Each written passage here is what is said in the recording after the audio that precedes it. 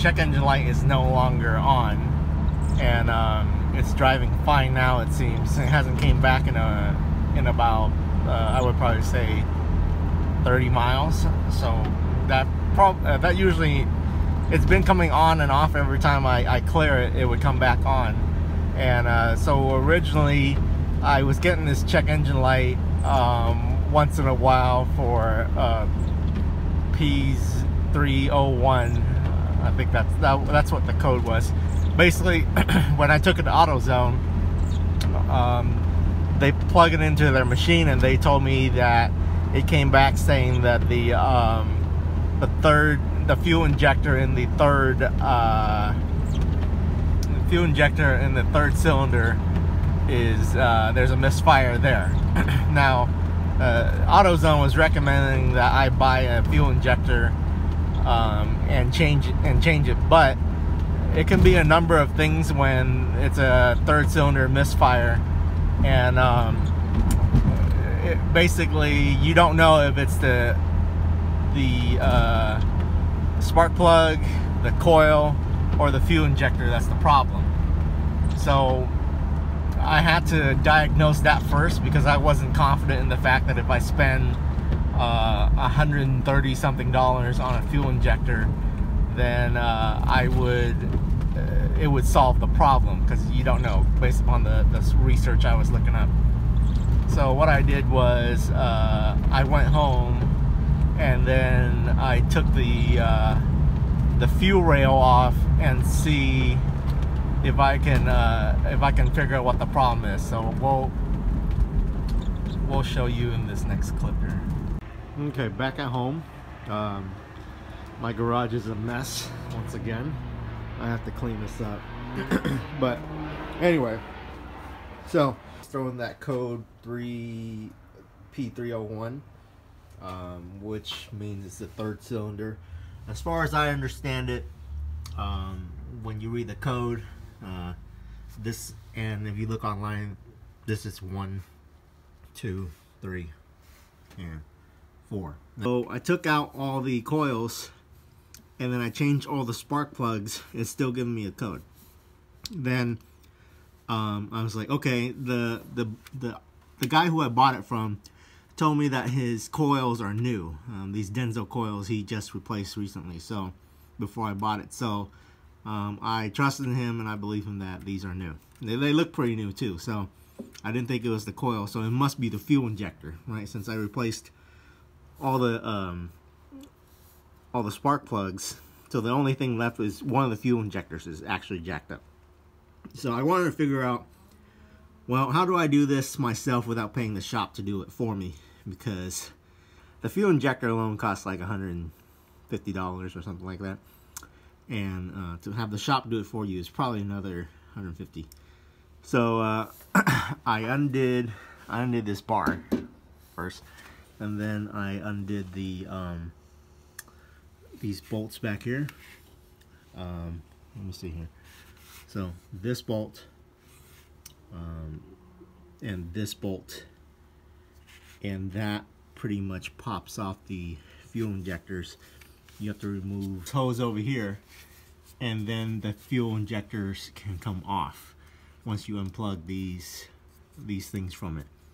Now the next thing is what got me in trouble.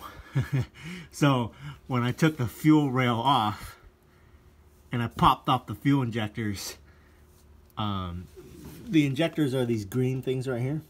One end of them goes into this fuel rail, the other end goes into the, the engine block. Popping this whole thing off, the fuel injectors come off, and then once you pull the fuel injectors off of the fuel rail, all the fuel that's in here comes spilling out. That kind of freaked me out. And of mine said, hey, I got fuel spilled out all the back of my, um, he said, don't worry about it. all you have to do is, um, just let it dry and, uh, let it, just let air out overnight and then you can start it. It'll be fine. There's no active spark on it. It won't catch on fire. So that was good. But anyway, so I took it out, looked at the fuel injectors, couldn't see what was going on. Uh, so I gave up and I try to put it back in. Well, when I put it back the way it was and I tighten it all down, I start the car drove around for a minute. The check engine light came back on. I was driving it, and then I hear this hissing sound, right? It's very loud hissing sound. I'm like, oh man, this is some problem that I caused. Um, and uh, I have to take it to the mechanic. So I sucked it up and took it to the mechanic. And uh, here, here's a, here's what the bad fuel injector looks like. So, like I said before, this top end here goes up into the fuel rail. This bottom end, let's focus on that here. See, that's that's where the fuel come comes out. Um, it goes into your engine block. Now, what's wrong with this injector when they pulled it out was you can see that hairline fracture crack right there. That is what was causing my uh, check engine light to come on like after driving it for a couple days and then resetting it driving again a couple days so that hairline fracture uh, actually caused enough of a discrepancy in the engine timing and the, the, the amount of fuel that's being injected for it to keep throwing the light and uh, that's why I was burning a lot more uh, fuel than than normal on this car. I wasn't getting the right mile per gallon like uh, the specs uh, say I should. The real problem that I messed up on was that not only did I not find that this fuel injector was bad, when I jammed it back in, either down or up, one of the one of the uh, seals, um, what you call it? There's like uh, rubber, what looks like rubber washers that goes up into the fuel rail that seals this part off and or this part off down here and um, one of those rubber seals I jammed it in too hard and tightened it down and I busted a seal and uh, it was like a a whole round seal but there was some there was a chunk of it just missing I don't know where that chunk went hopefully it didn't go into my engine block but it's been running fine now so I'm guessing it just fell off somewhere um, when the mechanic fixed it. Anyway, so I sucked it up and uh, gave it to the mechanic. The only reason why I know what was wrong with it was after he finished working on it and uh, 300 like 50 something dollars later for diagnosing it for the fuel injector for the um, uh, for the seal so afterwards picking up from the mechanic uh, three days later, I thought that all my problems are solved. It's running, it sounds good. Um, there's nothing wrong with the check engine light. I don't see anything going on. I picked it up, great. You know, 400 bucks, $350, it hurts, but good lesson learned. I'm on my way. So uh, I'm driving along and then boom, check engine light comes on later that day when I left work. And I'm like, what the hell, what's going on? Um, so I came over here and I got my OBD2 sensor. Um, I bought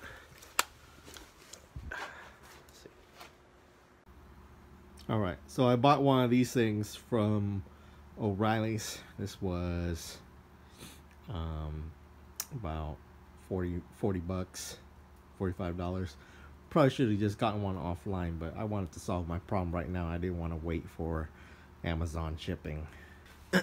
anyway, you plug it into here. Um, can't see this very well. Now the oxygen sensor is um, anywhere between $45 to uh, $99 at AutoZone or um, O'Reilly's. Was that 250 bucks or something like that just to fix the O2 sensor? This time, I'm going to figure out how to do it myself. So, I went online, uh, Googled where the P0141 code is. Couldn't find it. Um, I saw some crazy diagram that came from one of the uh, MR2 um, owner's manual guides, and it was very hard to read. Doesn't exactly tell me where it is, but luckily I found a video that was made by Spider Lee great guy. He's from the UK. He has the sickest MR2 Spyder where he told us exactly where each O2 sensor code was. So P0141 is right in here um, by the catalytic converter. So let's show you where it is. All right, so here I've already taken these two bolts out. This bolt and this bolt on the tail light, and you just wiggle it out like that. It's uh, it's got this little tab down here that goes into uh, this this slot here on the back bumper. And um, anyway, take the headlight, the tail light out, makes it easier to work on. And then if you look over here on my car, I don't know what your car or your MR2 might be like. Someone's fiddled with this before. So, on my car, there is, there's the cord. Um, point of reference, this is the uh, coolant thing. This is the uh, the air box, stock air box. and here is the uh, the cord for the O2 sensor. Now, this goes, I looped it over here, and this goes all the way down into there, it's, and it runs all the way down to the cat. So, we're to have you look at the cat here. There's the, uh, the stock exhaust. And then the, uh, the stock exhaust goes this way. Okay and there's the your catalytic converter. And right there that right there where the light's shining on is the O2 sensor. Now if you look at it from this side this angle you can see that the O2 sensor is deep in there and you cannot get a wrench on that sucker. Um, you have to get one of those O2 sensor wrenches. Um, so that's where the uh, O2 sensor wrench that you borrow from AutoZone comes into play. Alright, so to solve the problem of the bad O2 sensor, the I got this from AutoZone. I'm right in front of AutoZone actually. There it is. And uh, what you can do at AutoZone is you can just rent their uh, tools, and then once you return the tools, they'll give you back the full amount. So this cost me $32.99 or something like that with tax. They charge you tax as well, but when I bring it back, um, they'll give me the tax as well as the full amount that I paid for it uh, if I bring it back in 30 days. So this is the kit in which you uh, you you buy here. Let's open this up. So inside the kit, what you got is the uh, a number of different um, O2 sensor removal tools uh, or heads. So this one looks like that. There's a slit right there, and you can put your your wrench in this slot. If you don't have that adapter, you can put your, you can use this one. And then the cord goes right here. Um, so this slot is for the cord so you don't have to cut the cord or, or put the, uh, when you put the new one on, you, of course the cord is hanging out behind it too. Um, and then you can put uh, your wrench in this slot here and then when you torque it, it just turns the uh, O2 sensor here on this one. Uh, you can put your wrench back here and this is for like uh, any O2 sensor that is like you know very deep in there. Um, for the MR2 Spyder I use this particular one because sorry about the lighting there um, because my the one that is bad is the one right behind the back bumper right after the cat and um, the way the, the, the stock exhaust I have on there is set up, I have to use this one because any other one would be too long. Okay, so here it is, the old O2 sensor. God, this wet weather hair is killing me. I got this flat comb over thing going on here. I looked up uh, O2 sensor for MR2 Spyder year 2000 and I ordered this one. Um, that's the brand there. And uh, it just comes with the O2 sensor. I should technically be buying the expensive ones that are made by uh, Denso or Bosch um, is what they have. Bosch is what they have on uh, in um, at AutoZone. That's 99 bucks. Anyway, so I got this one, and this was I think I have to say like 13 or 20 dollars or something like that 20 25 I don't remember but I know it was less than 50 dollars and it was a really good price uh, free shipping and then I plugged that sucker in and tightened it with a wrench and drove it for as you can see early in the video for quite a few miles since yesterday and it hasn't came back on which it normally does um, when I kept trying to reset it. So you do have to get the OBD2 sensor reset it and then drive it. And it comes back on well uh, that's not your problem. You have some other terrible problem. But luckily for me I haven't uh, I haven't had a new check engine light come back on since I put the new O2 sensor in. I don't do only cosmetic stuff on my car. I do have to fix my own stuff if you want to save some money. So there it is. Uh, the engine's running great now. No problems with it. And um, I'd like to thank uh, the guy I bought it from. He sold me a great car. The engine looks good. There's no leaks. Um, just this uh, misfire and O2 sensor problem is the only things I've had um, issues with since I purchased the car. So uh, it's a great learning experience for me. I'm glad that I got a great car with no leaks, no issues, and we're gonna run this motor for a while. Maybe I'll rebuild it and uh, put a turbo on it. I heard the 1ZZ is great for turboing. Um, and Or maybe do the 2ZZ and then turbo that. So we'll see. Stay tuned for the, uh, the next episode on what I'm gonna do with MR2. And um, if you have any comments, please leave it in the comment page.